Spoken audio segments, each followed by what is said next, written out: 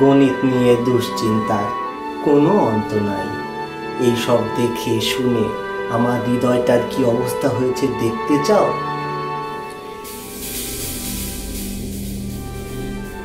যখন শুনি আমার দেশের কচি কচি ছেলে মেয়েদেরকে অঙ্ক মুখস্থ করানো হয়, তখন ঠিক এইভাবে একটি তীর এসে আমার হৃদয়কে ছিদ্র করে দেয়। যখন দেখি বিজ্ঞানের ছেলেমেয়েরা গণিত না পড়ে এইচএসসি পাশ করে যায়। তখন ঠিক এইভাবে তিনশো পঞ্চাশ মিটার পার সেকেন্ড বেগে একটি বুলেট এসে আমার হৃদয়কে বিদ্ধ করে যায়। পত্রিকায় যখন খবর পড়ি, গণিতে খারাপ করে একটি ছোট ছেলে বাড়ি থেকে পালিয়ে গেছে, তখন ঠিক এইভাবে একটি বোমা বিস্ফোরিত হয়ে আমার হৃদয়কে ছিন্ন বিচ্ছিন্ন করে দেয়। কষ্টে দুঃখে আমার এই ক্ষত বিক্ষত হৃদয় আমাকে প্রশ্ন করে।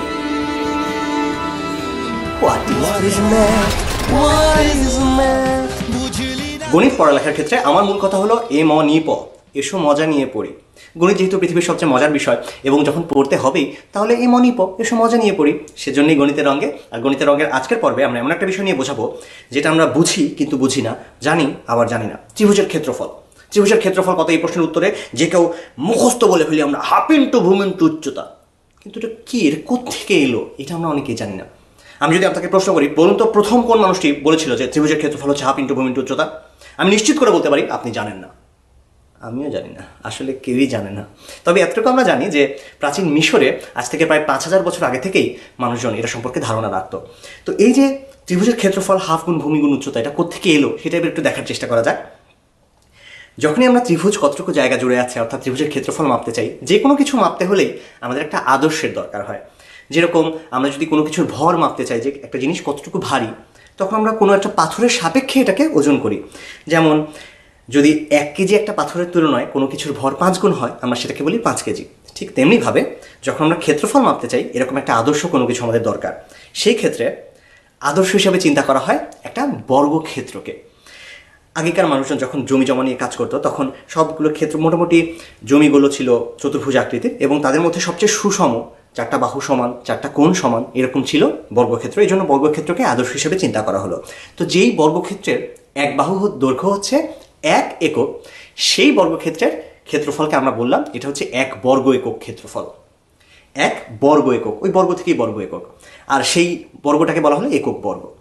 তো এরকম, এখন এই একক বর্গের তুলনায় কোনো কিছুর ক্ষেত্রফল কত গুণ, সেটা দিয়ে আমরা বুঝে যাব সেটার ক্ষেত্রফল কত। কীরকম? ধরা যাক একটা আয়তক্ষেত্রের ক্ষেত্রফল আমরা মাপতে চাই, যার এক বাহু হচ্ছে তিন একক, আর এদিকে পাঁচ একক। তাহলে তার ক্ষেত্রফল কত হবে? ধরা যাক আমরা কোনো ফর্মুলা জানি না, তাহলে আমরা কীভাবে মাপবো? আমাদের, আমরা জানি যে এই এক বর্গ একক কী, সেটা আমরা জানি যে যার চারিদিকে এক এক করে করে আছে, সেটা হচ্ছে এক বর্গ একক। তো এরকম যদি আমরা বানাতে চাই এখন এই আয়তক্ষেত্রের মধ্যে, কীভাবে বানাবো? এদিকে যেহেতু তিন একক আমরা এটাকে তিন ভাগে ভাগ করে ফেললাম। আর এদিকে যেহেতু পাঁচ একক, আমরা পাঁচ ভাগে ভাগ করে ফেললাম। তাহলে এখন অনেক ছোট ছোট ছোট ছোট ঘর দেখা যাচ্ছে। কতগুলো ঘর আছে? এবং খেয়াল করে দেখুন, প্রত্যেকটা ঘর কিন্তু এক বর্গ একক করে করে, সবগুলো এক এক করে করে। তাহলে এখানে ঘর কতগুলো আছে? এক, দুই, তিন, চার, পাঁচ, ছয়, সাত, আট, নয়, দশ, এগারো, বারো, তেরো, চোদ্দ, পনেরো। তার মানে এই আয়তক্ষেত্রের ক্ষেত্রফল হচ্ছে পনেরো বর্গ একক। এখন আমরা যদি একটু বুদ্ধিমানভাবে চিন্তা করি, এভাবে চিন্তা করি যে এখানে আসলে তিনটা সারি আছে। প্রত্যেকটা সারিতে পাঁচটা করে করে ছোটোগুলো ঘর ছোটো ছোটো ঘর আছে। তার মানে তিন গুণ পাঁচ, পনেরো। এই যে তিন গুণ পাঁচ, এটাই হবে তার মানে এখানে ক্ষেত্রফল। মোট পনেরোটা এখানে ক্ষেত্র, পনেরোটা বর্গ একক আছে। তার মানে এটার ক্ষেত্রফল হচ্ছে পনেরো বর্গ একক। তাহলে ক্ষেত্রফলের আমরা নতুন একটা ফর্মুলা পেয়ে যাচ্ছি এখন। তিন গুণ পাঁচ বা দৈর্ঘ্য গুণ প্রস্থ। তাহলে আয়তক্ষেত্রের ক্ষেত্রফল হয়ে গেল দৈর্ঘ্য গুণ প্রস্থ। এই যে আয়তক্ষেত্রের ক্ষেত্রফল আমরা বললাম দৈর্ঘ্য গুণ প্রস্থ এটাকে আমরা আসলে ভূমিগুণ উচ্চতাও বলতে পারি। এটাকে যদি ভূমি, এটাকে উচ্চতা বলা যায়, তাহলে এটাকে বলা যায় ভূমিগুণ উচ্চতা। এটা জানলে আমরা এখন সামান্তরিকের ক্ষেত্রফল বের করতে পারি, তবে একটু বুদ্ধি করে। কীরকম? এই আয়তক্ষেত্রটাকে আমরা চিন্তা করি এভাবে যে, এখানে অনেকগুলো ছোটো ছোটো ছোটো ছোটো রেখা মিলে এই আয়তক্ষেত্রটা তৈরি হয়েছে। অনেকগুলো ম্যাচের কাঠি এখানে আছে ধরা যায় যদি অনেকগুলো ম্যাচের কাঠি এখানে থাকে, এবার এটাকে আমরা একটু এভাবে যদি বাঁকিয়ে দিই, তাহলে কিন্তু একটা সামান্তরিক পেয়ে যাব আমরা। এবং এই সামান্তরিকের ক্ষেত্রফল কিন্তু আয়তক্ষেত্রটার মতোই হবে। কারণ এখানে তো নতুন কোনো জায়গা তৈরি হয়নি। আগে যতটুকু জায়গা ছিল ততটুকু জায়গায় তো সে, যতটুকু জায়গায় সে খেয়েছে আসলে। তার মানে এটার ক্ষেত্রফল হবে ভূমিগুণ উচ্চতা। যাদের এটা বিশ্বাস হচ্ছে না, তাদের জন্য একটা কাজ করি। এখান থেকে এই যে অংশ কেটে, এই ত্রিভুজটা কেটে এখানে বসিয়ে দিই। তাহলে সামান্তরিক থেকে আয়তক্ষেত্র হয়ে গেল। এখন তো নিশ্চয়ই ক্ষেত্রফল একই, তাই বলবেন, তাই না? তার মানে সামান্তরিকের ক্ষেত্রফলও ওই আয়তক্ষেত্রটারই সমান ভূমি গুণ উচ্চতা। আর এই সামান্তরিকে যদি অর্ধেক করি, তাহলে আমরা পেয়ে যাব একটা ত্রিভুজ, ত্রিভুজের ক্ষেত্রফল হবে হাফ গুণ ভূমি গুণ উচ্চতা। কিন্তু দাঁড়ান। এই যে আমরা বললাম যে আয়তক্ষেত্র থেকে একটু বাকিয়ে সামান্তরিক বানানো যায়, এখানে খেয়াল করুন তো, কেন আমরা বাকিয়ে সামান্তরিকে বানাবো? আমাদের যদি অন্যরকম কিছু ইচ্ছা করে যে জল তরঙ্গে ঝিলিমিলি ঝিলিমিলি ঢেউ খেলিয়া যায়, এরকম একটা কোনো কিছু আমরা বানাবো, এরকম করে বাকিয়ে বাকিয়ে, তাহলেও কি ক্ষেত্রফল পনেরো বর্গ কি হবে? উত্তর হচ্ছে অবশ্যই। এটাই হচ্ছে এখানে মজা। যখন আপনি একটা জিনিস ভেতর থেকে জানবেন, তখন অনেক কিছু আপনি নিজের মতো করে চিন্তা করতে পারবেন। এটি হচ্ছে এই জায়গাটার খুব মজাটা।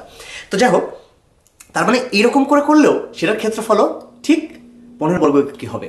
এখানে একটু বেশি চিন্তাশীল মানুষদের জন্য জানিয়ে রাখি এভাবে বাকিয়ে চিন্তা করার ধারণাটি ত্রিমাত্রিক বস্তুদের আয়তনের ক্ষেত্রেও ব্যবহার করা যায়। তো যাই হোক আমরা পেয়ে গেলাম যে সামান্তরিকের ক্ষেত্রফল হচ্ছে ভূমিগুণ উচ্চতা আর তাকে যদি অর্ধেক করি, তাহলে পেয়ে যাব হাফ গুণ ভূমি গুণ উচ্চতা। সামান্তরিকে অর্ধেক করলেই পাওয়া যায় ত্রিভুজ। ত্রিভুজের ক্ষেত্রফল হচ্ছে হাফ গুণ ভূমি গুণ উচ্চতা। তো ত্রিভুজের ক্ষেত্রফল যখন আমরা হাফ ইন্টু ভূমি ইন্টু উচ্চতা জানি, সেটাতে আমরা বৃত্তের ক্ষেত্রফল খুব সহজে পেয়ে যাব। বৃত্তের আমরা জানি পরিধি হচ্ছে টুয়াইস পায়ার যদি একটা বৃত্তের ব্যাসার্ধ হয় আর পরিধি হবে টুয়াইস পায়ার কারণ পরিধি বাই ব্যাস এটাকেই আসলে বলে পাই তাহলে পরিধি সমান সমান ব্যাস গুণ পাই ওখান থেকে পরিধি করলে টুয়াইস পায়ার চলে আসে। তো এই যে বৃত্তটা, সেই বৃত্তের উপরে খুব কাছাকাছি দুইটা বিন্দু চিন্তা করা যাক এ আর বি তাহলে কেন্দ্র থেকে যদি দুইটা রেখা টেনে এদেরকে যুক্ত করে দিই, তাহলে একটা ত্রিভুজের মতো পেয়ে যাব না আমরা এখন? কেন এ বি তো আর এর- এ বি তো সরলরেখা না? তাহলে ত্রিভুজ কীভাবে হবে? এ বি ধরে নিন, কারণ খুব ছোট তো। অনেক ছোট হলে এটাকে একটা সরলরেখার মতো চিন্তা করা যায়। তাহলে এটা একটা ত্রিভুজ হয়ে গেল ও আ বি এই যে ও এ বি ত্রিভুজ আমরা পেয়ে গেলাম, সেই ত্রিভুজের ক্ষেত্রফল কত হবে? হাফ ইন্টু ভূমি ইন্টু উচ্চতা। তাহলে এই ও এ বি ত্রিভুজের ক্ষেত্রফল হবে হাফ গুণ ভূমি হচ্ছে এ বি গুণ উচ্চতা হচ্ছে কেন্দ্র থেকে এই মাঝখান পর্যন্ত, এটা কত হবে? এটা আর, ব্যাসার্ধ। তাহলে হাফ গুণ এ বি ইন্টু আর তার পাশে এখন আরেকটা বিন্দু আমি নিই সি এবার ও বিসি ত্রিভুজের ক্ষেত্রফল কত হবে? হাফ গুণ বিসি গুণ আর তার পাশে আরেকটা বিন্দু নিলাম ডি তার হাফ গুণ সিডি ইন্টু আর খেয়াল করে দেখুন, আমি কি করতে যাচ্ছি? আমি সবগুলো ত্রিভুজ যদি এখন আমি যোগ করি, তাহলেই তো পুরো বৃত্তটা পেয়ে যাব। তাহলে পুরো বৃত্তের ক্ষেত্রফল কত হবে? হাফ গুণ AB into r plus half গুণ BC into r plus half গুণ CD into r plus dot dot dot dot সবগুলো। তাহলে সব জায়গার মধ্যে কে জানি আছে? হাফ আছে আর আর আছে। কমন নিয়ে ফেলি। হাফ ইন্টু আর যদি কমন নিয়ে ফেলি, পাবো AB plus BC plus CD plus dot dot dot dot dot এই যে AB plus BC plus CD এই সবগুলো যোগ করলে আসলে কি পাওয়া যায়? ভালো করে দেখুন তো। এই ছোটো ছোটো ছোটো ছোটো ছোটো দৈর্ঘ্য যদি আমি যোগ করি, তাহলেই তো আসলে পুরো বৃত্তটা পরিসীম আমরা পেয়ে যাব পরিবৃত্তটার পরিধি আমরা পেয়ে যাব। তাহলে হচ্ছে হাফ গুণ r into twice pi r two two মোকাবেলা থাকবে পাই আর স্কোয়ার এটি বৃত্তের ক্ষেত্রফল। বৃত্তের ক্ষেত্রফল আমরা যেভাবে পেয়েছি, ঠিক একইভাবে কোনকের বক্রতলের ক্ষেত্রফল আমরা পেয়ে যাব। কোনক ধরা যাক এটা একটা সমবৃত্ত ভূমিক কোণক মানে ভূমিটা হচ্ছে একটা বৃত্ত।